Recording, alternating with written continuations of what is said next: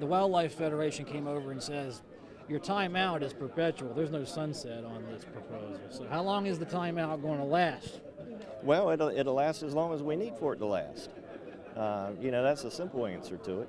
Uh, we're going to have this Regulatory Reform Commission uh, or committee uh, joint between House and the Senate, and we're going to go out and we're going to hit the road and and uh, solicit testimony from all those that uh, that want to come forward, and and we're going to see, uh, you know, see what's what's working, what's not working, and based on those recommendations and that testimony we receive, we'll, we'll take a more detailed look, and at that point, we'll know when when to end the timeout.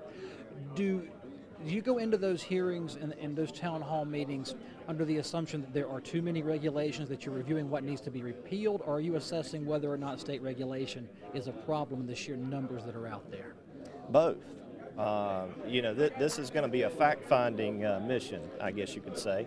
And uh, certainly, what we hear from our constituents, what I hear from my constituents in Johnston County and Wayne County, is uh, we've got a number of regulations that are impeding business. We've got a number of regula- regulations that are contradictory, uh, burdensome, uh, you know, don't meet the uh, threshold of common sense, and they won't reform. And uh, the best way to do that is go out and hold hearings and get testimony and and uh, get a detailed itemized list of what's working and what's not working so we can make good policy decisions here at the legislature. Do you see the future debate being on the regulation as they're written or on the relationship between regulatory bodies and how they affect the economy and your, the way you see it?